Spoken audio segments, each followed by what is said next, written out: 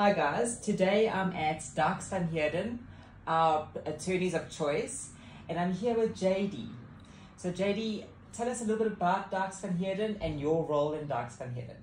Hello, thank you for having me. Uh, well, at Dykes Van Heerden, we are property specialists. We do bond cancellations, bond registrations, and transfers of property, and we specialize, of course, in, in the property industry. We also do co- corporate law, but we rather do transfers because we love working with agents like yourself. Oh, thank you. um, okay, so also what I, what I really want to discuss and what comes up a lot when I when I speak to my clients is the mandatory disclosure form and the voetstoots clause in the offer to purchase.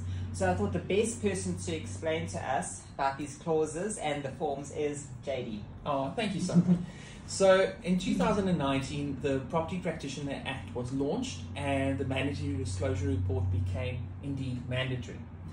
And a form has now been published in 2022, in terms of which the Pro- Property Practitioner uh, Regulator has said to us that this is the form you need to use.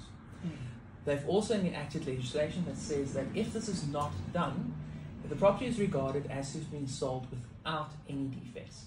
And then, unfortunately, not only the seller but also the property practitioner can be held liable. So it's vitally important, sellers, that you sign this and that it's attached to your offer to purchase and your lease agreement for you to be protected.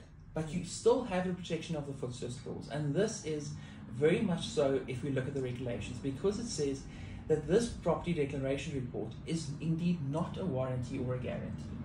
It is simply a declaration of what you actually have knowledge of. And that's why we say it's to be read with the voetstoots clause. So, if a purchaser has indeed uh, come about a, a defect and they want to sue you, because they still need to prove uh, for you not to have the protection of the voetstoots clause that the seller knew about the defect, hid the defect, and did so with an intention to uh, defraud the purchaser. So um, that is indeed a very hard burden of proof because it's not an objective test, but it is a test of whether your seller actually did it. So our advice is always have that disclosure report signed, attach it to the offer to purchase, and have your purchaser countersign that to make sure that you are covered.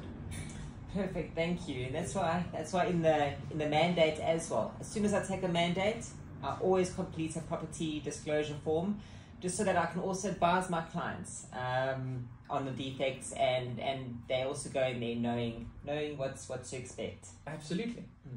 And then another thing I'd like to mention um, is there anything else that we need to discuss around the voetstoots clause and and property disclosure? Is there anything we left out? No, I think the final point that, that, that we need to make sure is that unfortunately, when buying a house from a seller, you are not buying a new house purchaser, and therefore, because you are buying a second hand house, we need to understand that certain defects are going to be there.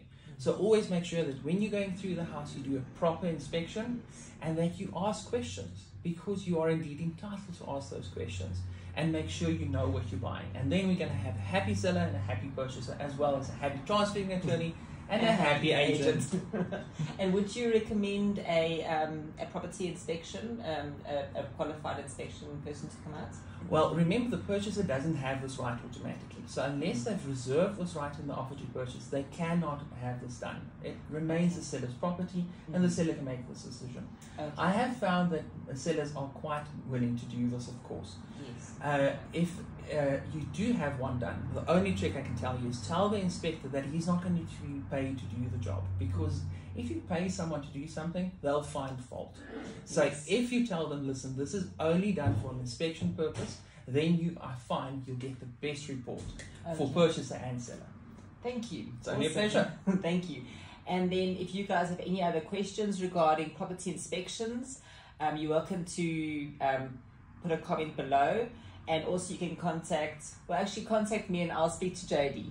But um, I also want to refer you to JD's, um, to the Van Heerden website where they have, um, tell us more, you've got an app and a few videos. We believe we are the first uh, property attorneys to have a, an app. And on this app, we have a video that explains the transfer process so that anyone can understand it.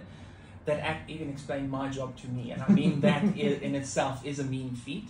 Uh, on it, you, if you are doing a transfer or a bond with us, as well as bond cancellation, you get live updates. You press a button to speak to an attorney or to the paralegal doing your transfer. It's absolutely mind boggling what you can do with that. But importantly, all the information, the articles that we publish, is also on the app as well as our website. So please pay us a visit.